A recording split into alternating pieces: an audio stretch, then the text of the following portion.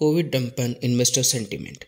Indian rupee logged worst week against US dollar in 7 as worries around a new COVID strain and foreign fund outflows dampened the investor sentiment. Omicron, the new strain, could be the trigger the market was looking for a reversal.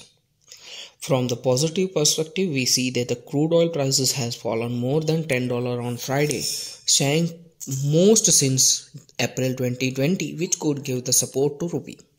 Spot USD INR in the week gone climbed 63 paise or 0.85 percentage to 74.87 in the week gone, the most since October 8 and snapped 5 straight weeks of gain.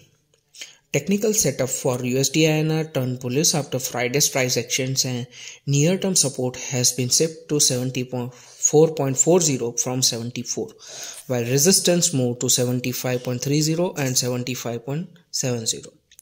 This week, not only will we find out whether the Friday's sharp market move can be attributed to low liquidity or whether the sentiment has really turned. There are a bunch of economic data to be looked into for directions. This is all for this week. Thank you all and have a great week ahead.